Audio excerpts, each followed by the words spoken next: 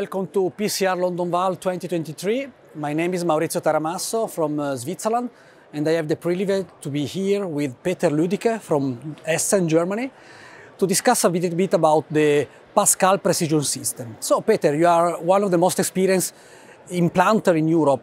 Can you tell a bit us uh, why Pascal precision is making the difference in treating patients with mitral and tricuspid regurgitation, and which are the peculiarity of this system? Yeah, thank you for this interesting question, and I'm um, really surprised to can give an answer because I was quite happy with the early version of the Pascal system when we started to work with this system in 2019.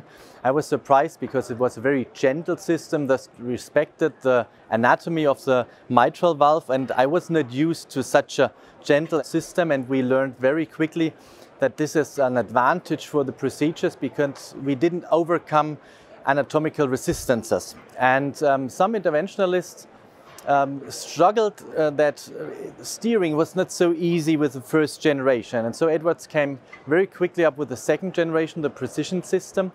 And uh, this was an um, impressive improvement I didn't expect it to be honest because the responsiveness of the system, so the steering became more direct and um, what, what was the most important um, aspect for me was that we didn't lose the respect of the anatomy. So it's still um, a soft system, but with easy steering, direct responsiveness. And what we learned is that the procedures became quicker. I think it's a combination of precision and experience.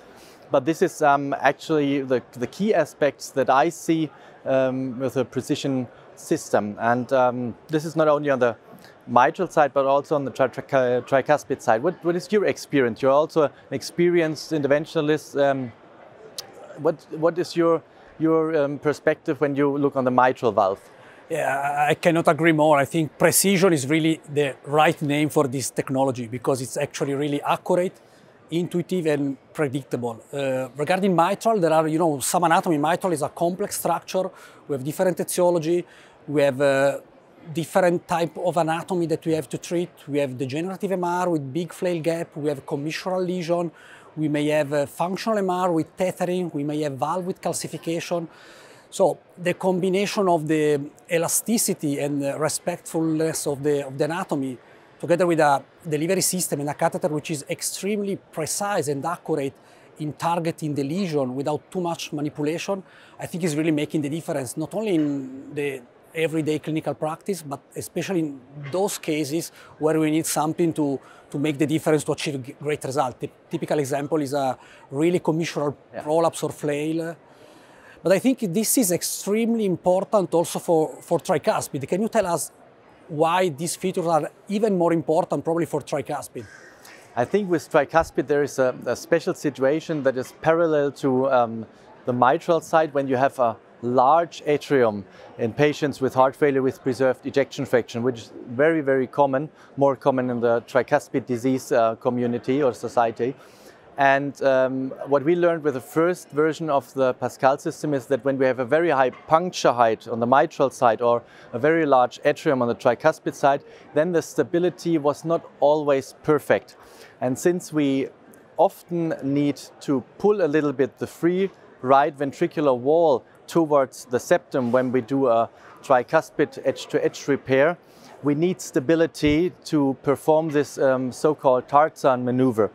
And this is a, um, a large and um, impressive improvement when we learned that the precision system, even in large atria with, with, with a height roughly five centimeters above the valve, is no problem for the, for the system to to pick up the, um, the leaflet and just pull it over to the septum and perform a safe and fast procedure.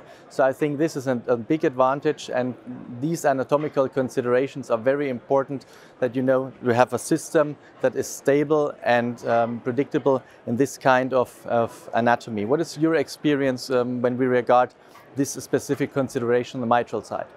I think uh, precision means uh, accuracy. So we are really able to put the device where we want uh, to avoid any trouble like entrapment in cord. Mm -hmm. um, means also intuitivity, so the steering of the device and the maneuvering is really intuitive, and reproducibility. I think we are really now on a good way to know in both mitral and tricuspid side on how to perform any and how to plan any kind of procedure and in a reproducible way.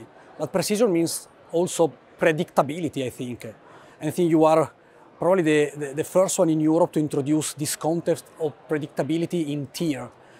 You, you are also the PI of the predictability study.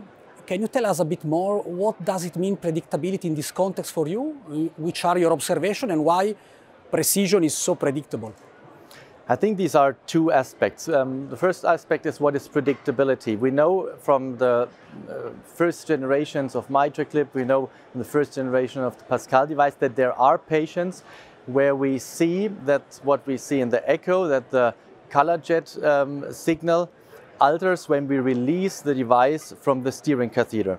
So in anatomies where we have a small valve opening area, where there's a high gradient or calcification, where we know upfront it will not be possible to put a second device in this patient because of an increased gradient, we need to rely on that what we see at a point when we still can uh, pull it out again, that what we see at this very moment is stable also after the release from the steering catheter. And what we learned in the very early days of, of Pascal that this is quite rare that we see an alteration with the Pascal system. We see even a large proportion of, of um, anatomies where the mitral um, regurgitation signal even becomes better or less.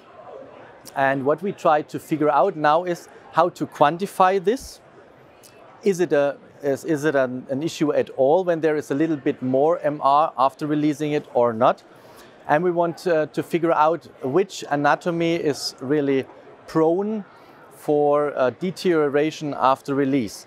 Because our aim must be that we have um, uh, nearly 100% rate of zero M1 plus, and I think the precision system, and this is what we learned in the current um, IIT right now, in the very early phase of this uh, multi-center registry, that the precision system is still a very predictable system despite it improved its responsiveness and, um, and um, maneuverability. So I think the system is on, on, on the right way. And uh, there is much more to learn about these anatomies which are prone um, for a bad result. It was uh, a great discussion, Peter. Thank you for uh, Thank giving you. us the opportunity to discuss a little bit the, the feature of Pascal Precision.